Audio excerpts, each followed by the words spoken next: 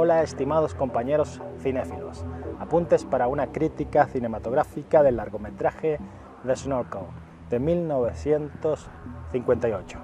En España esta película recibió el título de La máscara submarina.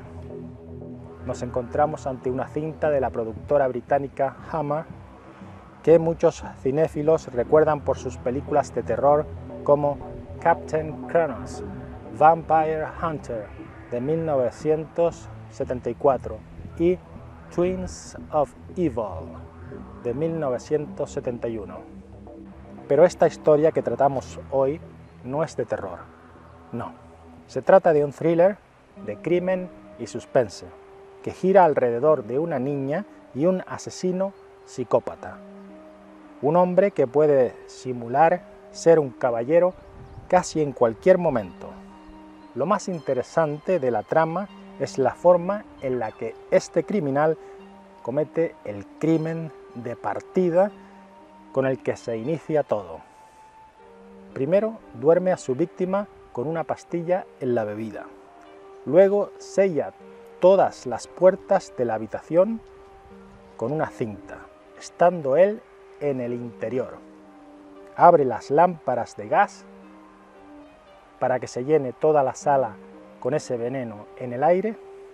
Se coloca unas gafas de buceador con unos tubos plásticos, de ahí el nombre de la película, The Snorkel, que es ese tubo por el que respiran los que hacen buceo. Se coloca unas gafas, digo, de buceador con unos tubos plásticos que van hacia una zona de aire puro. Se introduce en un falso suelo debajo del piso de madera de la habitación y allí espera a que vengan los criados y que sean ellos los que llamen a la policía, el escondido. De ese modo todos pensarán que la víctima ha cometido un suicidio. La intención de este criminal es que todos piensen que su mujer se suicidó. El director de esta película es Guy Green, que comenzó su carrera como director de fotografía en películas como Great Expectations, de 1946 sobre la popular novela de Dickens y El Hidalgo de los Mares de 1951, estas dos como director de fotografía. Ya como director absoluto, una de sus mejores películas es Un retazo de azul de 1965. Sus filmes, sin llegar a resultar sobresalientes para la mayoría de críticos, sí suelen ser notables en su manufactura y constituyen una apuesta casi segura para pasar un rato cinematográficamente interesante. Por ejemplo, con Luz en la ciudad de 1962, que cuenta la historia de una joven y bella muchacha que sufrió un accidente del cual resultaron graves daños cerebrales y prácticamente tiene que permanecer toda su vida con la mentalidad de una niña de 12 años. Entonces nos preguntamos qué ocurrirá cuando alguien se enamore de ella y ella le corresponda. La película es Luz en la ciudad de 1962, ¿eh?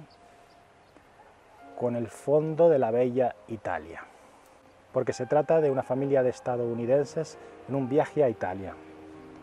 Volviendo al filme que tratamos hoy, nos encontramos con una niña interpretada por la adolescente Mandy Miller, que contaba con 14 años de edad, que desde el primer momento su personaje sospecha que su padrastro ha asesinado a su padre y ahora a su madre. Pero nadie la cree. Es curioso, pero me gustaría notar que esta chica sabe cantar. Lo comento porque en una ocasión, estando en la playa, los personajes ella canta una pequeña canción y tú piensas, esta chica sabe cantar, seguramente cantó y efectivamente en su época, durante los años 50, fue popular una canción que ella cantaba sobre un elefante, una canción infantil.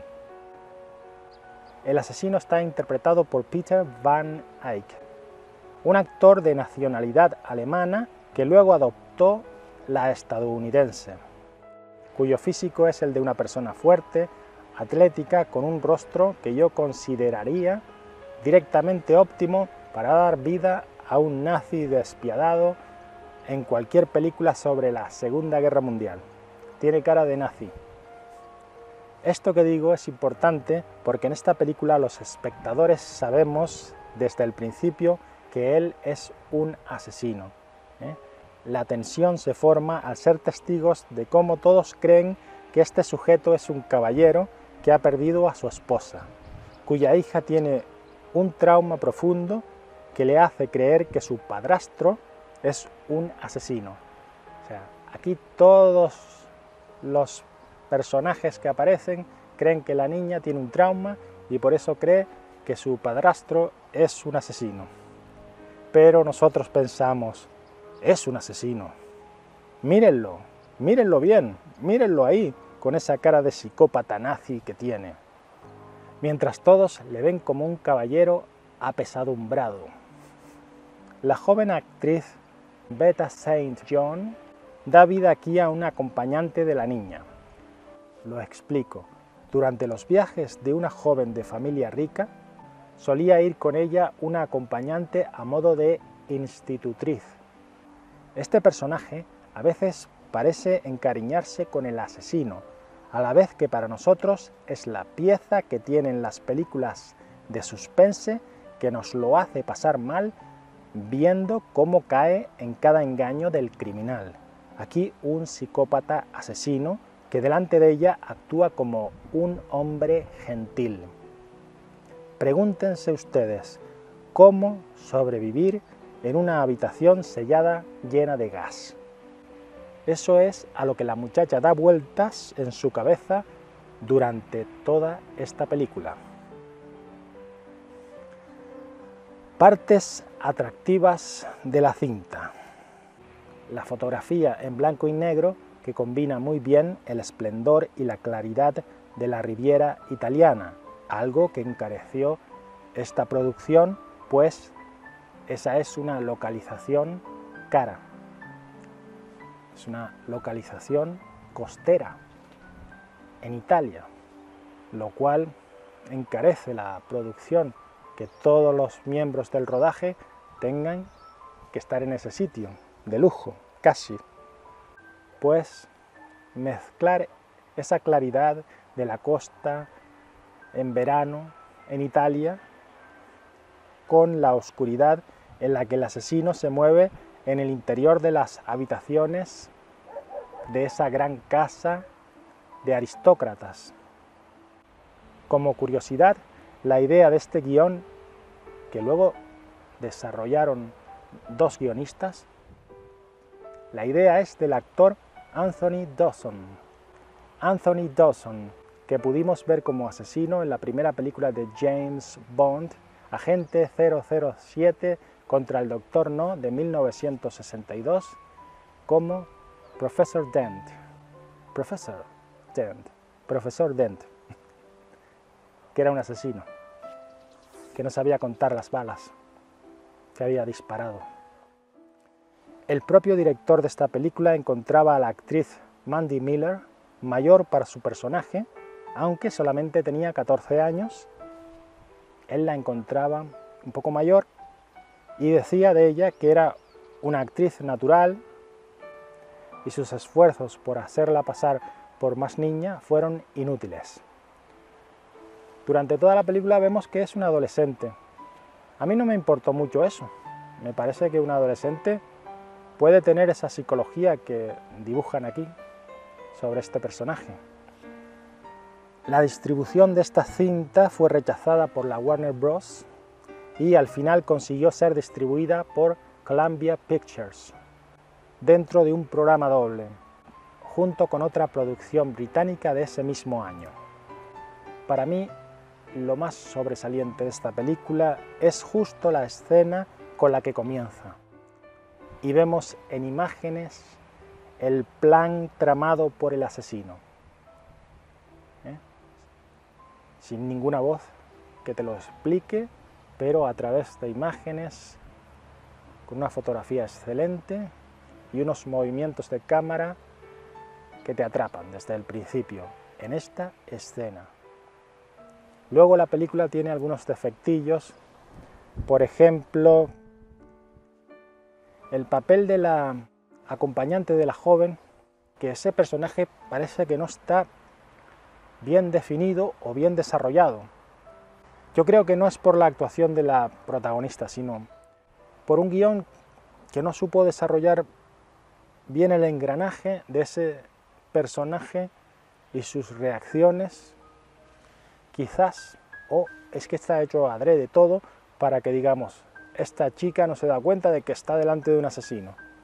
Quizá está hecho adrede, pero ella parece encariñarse con un hombre que acaba de asesinar a su mujer. Ella cree que acaba de perder a su mujer y le tiene como pena, pero a veces parece estar encariñada con él. Hombre, ni que fuera Rock Hudson, este hombre, o Cary Grant, no, es un tipo más bien feo.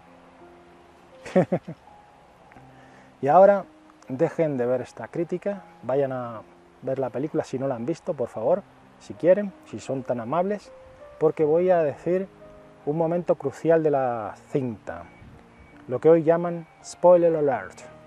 Sobre el final de esta película me gustaría comentar que la protagonista, en principio, podría haber dejado a ese asesino atrapado en su propio engaño, para siempre.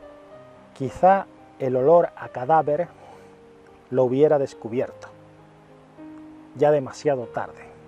Pero ella es una buena persona y cambia de opinión justo en el último momento. Y aquí tengo que decir que este, el último momento en que ella cambia de opinión, está ahí porque el personaje es bueno. Pero unos minutos antes, la película hubiera terminado con la niña dejando al asesino debajo de aquel suelo, asfixiándose allí durante unos meses hasta que apestara el cadáver, dicho vulgarmente, y realmente sería un final impactante. Ya ahí entraría un poco el terror del Hammer. Señores, yo les recomiendo que le den una oportunidad a la película The Snorkel de 1958, titulado en España La máscara submarina, con la que se puede cometer un crimen de forma astuta en las novelas de misterio. Hasta el programa que viene, si es que hay un programa que viene, que tengan ustedes un día agradable. Hoy fue una grabación muy accidentada porque pasaron motos, camiones, tocaron pitas, sopla el viento. Tremenda la cantidad de ruidos que hay aquí. Justo cuando le doy a grabar. Adiós. Spoiler alert. Hasta ese toca la pita para señalar el spoiler alert.